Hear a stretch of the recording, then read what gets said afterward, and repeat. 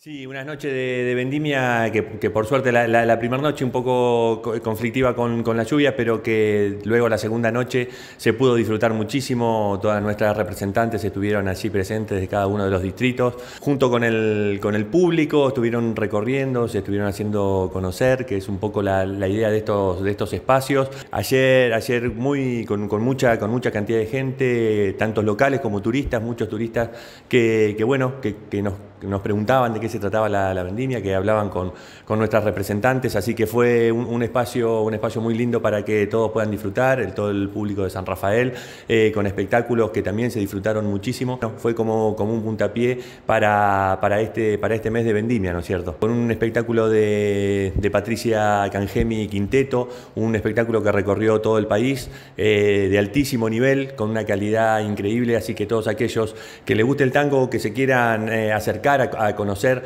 una, muy buena orquesta de, tango, puedan este, este viernes 20, a partir de las 21 horas, allí en el Teatro Roma. La entrada es un alimento no, no perecedero, así que, bueno, un, ingreso más que, más que popular para que todos podamos disfrutar de otra actividad relacionada con, con, vendimia y como decía recién, de un espectáculo de, eh, un nivel eh, impresionante que tenemos la posibilidad de desarrollar en, nuestro Teatro Roma. Y justamente a partir de hoy ya comienzan los, ensayos con todo preparado para, que, para, bueno, para llegar a este, a este fin de semana, a este espectáculo que seguramente nos va a deslumbrar, eh, denominado Libre bajo la Cruz del Sur. Así que, bueno, está todo dispuesto para que hoy cada uno de los artistas puedan comenzar con, sus ensayos. Bendición de Frutos, que va a ser el domingo 29 a partir de las 21 horas en Plaza San Martín, para luego el viernes 3, eh, nuevamente por nuestras calles se va a estar desarrollando la, la Vía Blanca